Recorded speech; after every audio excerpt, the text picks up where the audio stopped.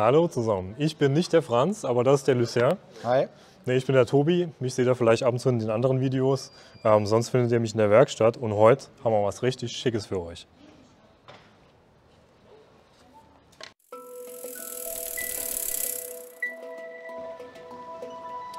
Wir haben nicht mal 11 Kilo, haben einen Vollcarbonrahmen, Carbon-Laufräder, sogar die Narben sind aus Carbon. Was genau haben wir hier vor uns? Ja, wir haben das Scott RCSL Evo AXS und das ist das absolute Topmodell von äh, der Firma Scott. Mehr geht nicht mehr. Das absolute Supermodell von denen.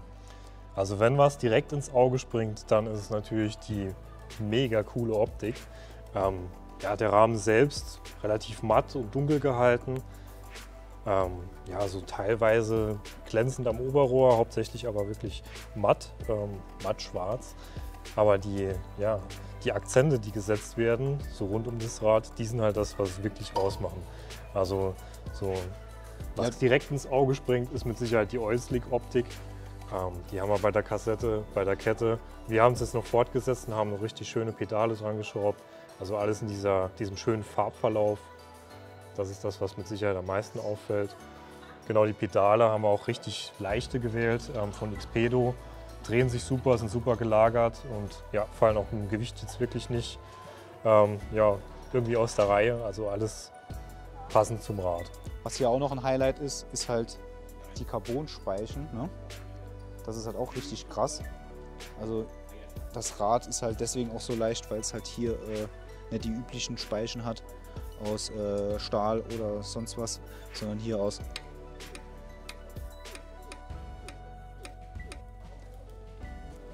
ja, coole, coole Sache. Und gibt es halt nur bei so absoluten High-End-Top-Modellen. Ne? Dann haben wir ähm, für die Abhebung halt, wie du schon gesagt hast, diesen Rainbow Slick, Öl-Slick-Effekt und halt diese Kashima-beschichteten äh, Elemente, die das Ganze nochmal hervorheben. Und das macht das Ganze halt schon zu einem absoluten äh, auffälligen Rad wieder. Ja, apropos Kashima, ähm, jetzt fragt man sich ja gleich so ein bisschen, ist denn jetzt dann auch, ja, ist es nur die Gabel, die nur Kashima ist und ähm, die Transfer oder wie ist es mit dem Dämpfer? Ähm, apropos, wo ist der Dämpfer überhaupt? Ich, darauf sind wir, glaube ich, noch gar nicht so richtig eingegangen. Ja, der Dämpfer ist ja hier drin, das ist ja das neue Spark-Modell. Äh, das heißt, wir haben den Dämpfer im Rahmen äh, integriert, sodass er halt auch vor Verschmutzung äh, und äh, sonstiger Witterung äh, geschützt ist. Und hier drin ist dann der Dämpfer. Und das sieht auch mehr aus wie ein Fox äh, Factory Dämpfer. Der Newt müsste das sein. Und ja, also hier ist halt, wie gesagt, das Beste vom Besten.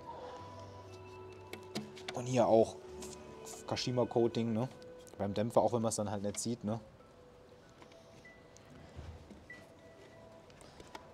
Ja, wie viel Federweg haben wir eigentlich? Also wir sind hier jetzt ja im Race-Fully-Bereich, also alles ist auf Gewicht ausgelegt und ja, eher für Cross-Country, Uphill, bisschen Trailfahren auch ausgelegt.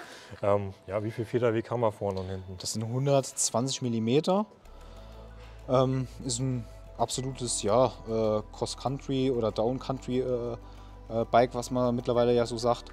Ähm, das heißt, ich kann damit schnell fahren, aber auch mal ein bisschen in ein bisschen roughes äh, Terrain, weil wir haben hier zwei Vierer Reifen, das ist schon ziemlich breit. Das ist halt schon wie bei so einem EMTB. Ne? Also damit kann man auch schon mal einen Single Trail äh, gut runterkrachen und das bei einem Bike von halt äh, ohne, wenn wir es jetzt halt komplett ohne Pedale und mit dem Tubeless halt System äh, bemessen würden, wären wir bei 10,1. So sind wir jetzt bei ein bisschen mehr wie 10,5 Kilo. Genau, noch so ein paar Highlights von dem Rad. Ich meine, eins, was direkt auffällt, wenn man auf das schöne, cleane Cockpit guckt, sind halt die Bremsen. Ähm, wir haben Shimano XTR-Bremsen. Ist, glaube ich, so für den Downcountry-Bereich somit das edelste, was man haben kann. Sind sehr leicht, trotzdem super feinfühlig, von der Optik auch richtig clean. Und wenn wir dann ja, runter auf die Scheibe schauen, da haben wir dann richtig schöne Icetech-Bremsscheiben, die dann auch die Hitze wunderbar ableiten und für eine richtig krasse Bremskraft zusammen mit dem starken System sorgen. Genau. Ja, also XTR, die, die absolute Speerspitze.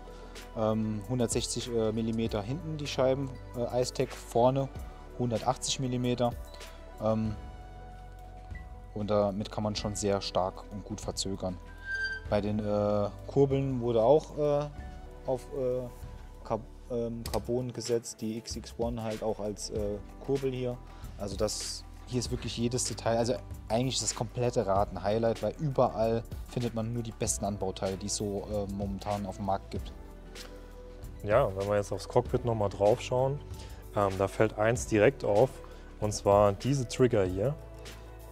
Man hört schon im Hintergrund, ist so ein elektrisches Geräusch. Was haben wir hier? Ja, das ist halt diese XX1 äh, äh, Schaltung, die halt per Funk ist, das heißt keine Züge mehr. Und die sind halt auch super ergonomisch hier, wo ich ganz schnell, zack, zack, mehr, mehrere Gänge auch ganz schnell durchskippen äh, kann. Und das ist halt, das ist halt schon richtig äh, nice. Ne? Genau, also die Schaltung insgesamt absolutes Highlight. AXS steht ja bei SRAM für die Funkschaltung und ansonsten sind wir hier durchgehend bei der XX1, also wirklich im ja, besten Bereich, was Präzision und auch Gewicht angeht. Ähm, so eine Kassette, die hinten drauf ist, die kostet auch richtig was. Ähm, das, äh, die ganzen Teile, die wir jetzt so nach und nach durchgehen, wenn man da so ein bisschen mitrechnet, merkt man schon, wir sind hier im Topmodellbereich. Ähm, bei welchem Preis insgesamt liegen wir da jetzt?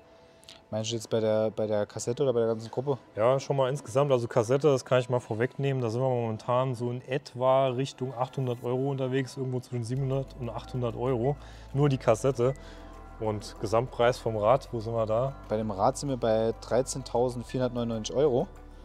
Und bei der Schaltung jetzt äh, knapp wahrscheinlich 1500. Ne? Genau, also wir sind halt wirklich im absoluten Top-Bereich. Führt uns natürlich auch so ein bisschen zur Frage, 13.500 Euro, äh, für wen ist es das, richtige Rad? Ja, ich würde sagen, äh, Semi- bis Professionals, also Leute, die halt Rennen fahren, die halt mit in ganz Europa oder der ganzen Welt halt mit Startgebühr irgendwo äh, äh, sich mit, mit den Besten der Besten messen oder halt auch gesponserte Leute oder halt einfach äh, Liebhaber, die halt sagen, das äh, ist jetzt ein Rad, damit ich möchte einfach das beste Modell haben, was es so gibt von der Marke und äh, fahre damit dann halt äh, im Freizeiturlaub oder einfach so am Wochenende ein bisschen rum. Ja, ich bin froh, dass du die Liebhaber noch erwähnst, weil ganz ehrlich, bei dem Teil, da wäre er ruhig wach. Ja, ich fahre zwar keine Rennen, aber wenn ich das so vor mir sehe, ähm, da könnte ich es schon noch mal überdenken. Also das Ding sieht so aus, als würde es richtig Spaß machen. Ich habe es jetzt, nachdem wir es aufgebaut haben, mal kurz ein bisschen gefahren. Also da kommt man richtig schnell auf Geschwindigkeit. Und der Federweg, ganz ehrlich, für das meiste, was man so im Alltag auch fährt, also auch auf den Trails, reicht völlig aus. Mehr Federweg heißt auch mehr äh, meistens äh, höheres Gewicht, weil die Tauchrohre hier dicker sein müssen. Und das Rad ist auf jeden Fall auf Speed und Gewicht halt äh, ausgelegt. Wir haben hier trotzdem noch das Twin-Lock-System Twin halt noch. Ähm, das hatten wir noch gar nicht besprochen hier, glaube ich. Ne? Genau, Twin-Lock, äh, ja, eigentlich immer ein schlagendes Argument bei Scott Trail Bikes. Ähm, in zwei Stufen lässt sich das Fahrwerk abriegeln. Ähm, wir haben da die schönen Daumenschalter. Ähm, genau, können halt in zwei Einrastpunkte das Fahrwerk einstellen. Gerade wenn wir dann den Berg hochfahren, ähm, geht dann auch keine Energie unnötig in die Dämpferelemente verloren, sondern alles in Vortrieb. Ja, das Ganze wird halt auch, äh, also nicht nur in der Gabel, sondern auch in dem Dämpfer halt äh, parallel geschaltet. Ne? Ähm, sieht man dann auch hier unten in der Serviceklappe, wo ich dann direkt auch sehe, dass dann auch der Dämpfer angesteuert wird. Ne? Und ja, das ist halt dann schon cool, dass ich nicht die Hände vom Lenker abnehmen muss. Hab dann immer sicheres, stabiles äh, Lenken und bin halt einfach super sicher unterwegs, auch wenn ich mal ein bisschen schneller fahre. Hier habe ich dann im dritten Hebel auch so Scott-typisch äh, die Seat Post, ne? wo ich dann ganz easy hier runter drücke ne? und ganz smooth reingeht. Und normalerweise muss man sich immer mit dem Gewicht reinlegen oder äh, äh viel Druck aufwenden. Und hier ist es halt, geht super schnell und gut hoch. Ne? Und, aber trotzdem kann ich mit ganz wenig Aufwand das Ding smooth runterdrücken. Und das ist halt auch, die Fox Transfer ist da schon m, wirklich eine sehr gute Seat Post, also äh, absenkbare Sattelstütze. ja, wir haben insgesamt, wie gesagt, wirklich nur die besten Anbauteile, die man so an so ein Rad ranpacken kann. Ähm, haben eine super cleane, aufgeräumte Optik. Ähm, das, klar, dadurch, dass der Dämpfer eben versteckt ist, das trägt dazu bei, aber auch das Cockpit super aufgeräumt, super clean. Der Carbonlenker ähm, kommt richtig schön zur Geltung. Ähm, sowieso Carbonlenker, super Geschichte, weil ich ähm, mit dem Carbon halt die ganzen Mikrovibrationen, die ich jetzt auf einem bisschen ruppigeren Trail schon in den Handgelenken, den Armen spüren würde, den bekomme ich da schon weggedämpft. Ähm, ja, einfach weil das Material eben mitarbeiten kann. Und ja, es ist halt einfach durchweg ein super schickes, super stylisches, hochtechnisches ja, Trailbike. Ja. Oft ist es abgetroschen, der Begriff vielleicht die Speerspitze, aber hier kann man sagen, das Best, eigentlich, es ist das beste äh, Biobike momentan, was es äh, im, als Fully auf dem Markt gibt. Also in Kombination mit den Anbauteilen, hier auch mit diesem, mit diesem profilierten Reifen, der breit ist, der jeden Trail fahrbar macht, ist halt einfach, ja, mehr geht nicht mehr. Gut, bevor wir jetzt noch äh, ja, zu sehr über das Rad schwelgen, sagen wir einfach kurz, kommt vorbei, Glockenstraße 4 in Kaiserslautern. Wir haben das Teil da und es ist auch noch im Zulauf. Ähm, und schreibt mal gerne in die Kommentare, was ihr davon haltet. Ist es komplett unnötiger Firlefanz, äh, dass man hier einen, einen, fünfstelligen Betrag hat für ein äh, Biobike? Oder ist es halt mal cool, dass man so als Fahrradler mal so ein Bike da hat, wo man zeigt, was geht, was ist halt äh, technisch äh, möglich und wo ist halt äh, absolut das, äh, das, das, die, die High Performance an. Ob das halt, ja, ob das euch interessiert oder halt eher nicht so. Genau, schreibt es in die Kommentare. Wie gesagt, kommt gerne vorbei. Momentan hoher Besuch bei Konrad dem Fahrradhandel.